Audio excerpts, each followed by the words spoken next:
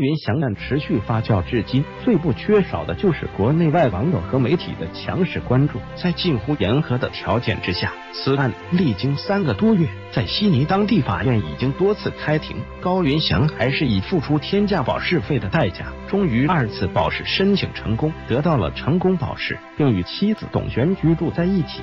但相比另外一个主人公王晶，就没有那么好的运气了。保释失败的消息对于他来说。意味着什么？想必网友们也是心知肚明。这个案件从一开始就有很多疑云，法院多次开庭也无法定案，而高云翔方也多次向法院提出保释的请求，不过始终都被法院驳回了。高云翔案保释庭审结果公布，法官批准了其保释申请。据外界多方分析。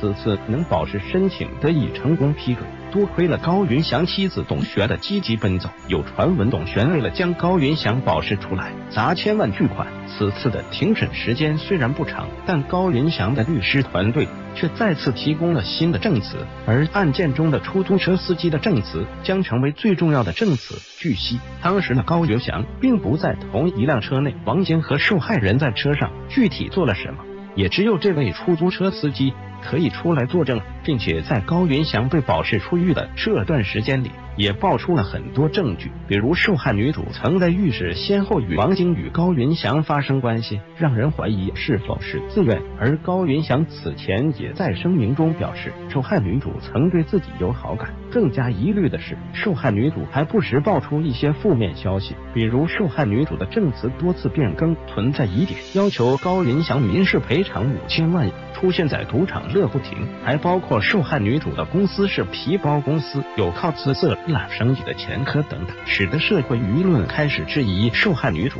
局势也似乎对高云翔更加有利了。再加上早在保释案中，高云翔团队就给法院提供了相关的视频作为重要证据。视频的内容是王晶和受害人举止亲密，而这次庭审再次提供了新证据，而这两项重要的证据也会让王晶处于一个非常不利的地位。有网友认为。